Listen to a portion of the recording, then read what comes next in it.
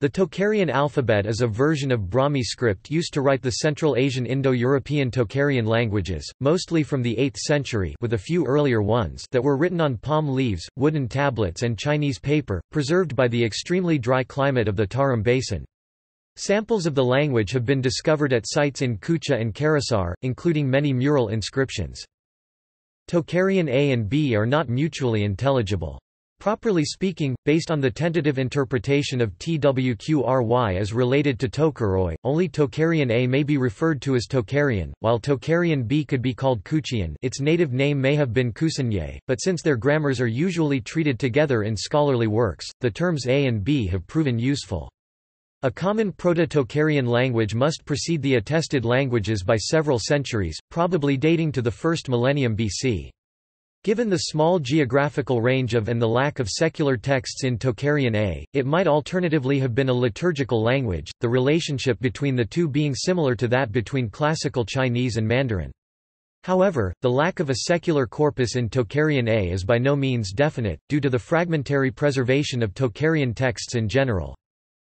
The alphabet the Tocharians were using is derived from the Brahmi alphabetic syllabary and is referred to as slanting Brahmi.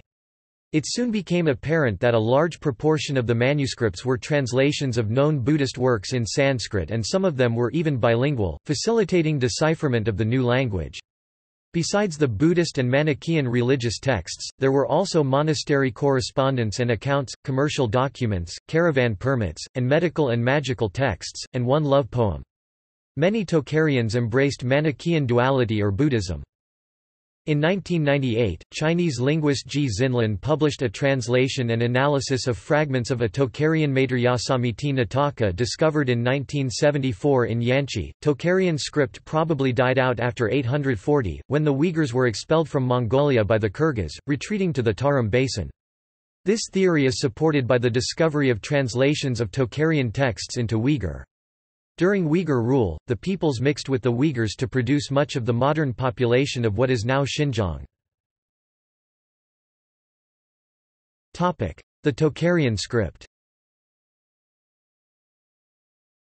The Tocharian script is based on Brahmi, where each consonant has an inherent vowel, which can be altered by adding a vowel mark, or removed with a special nullifying mark, the virama. Like Brahmi, Tocharian uses stacking for conjunct consonants, and has irregular conjunct forms of ra.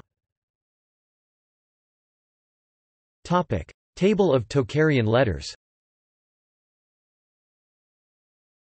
Topic. References Topic. External links Titus, Tocharian alphabets, conjugation tables, and manuscripts from the Berlin Turfan collection. Everything You Always Wanted to Know About Tocharian by Mark Dickens. A Tocharian to English dictionary with nearly 200 words with accompanying article. Tocharian Online from the University of Texas at Austin. Tocharian alphabet at Omniglot.com Proposal to encode the Tocharian script in Unicode the 9th of October 2015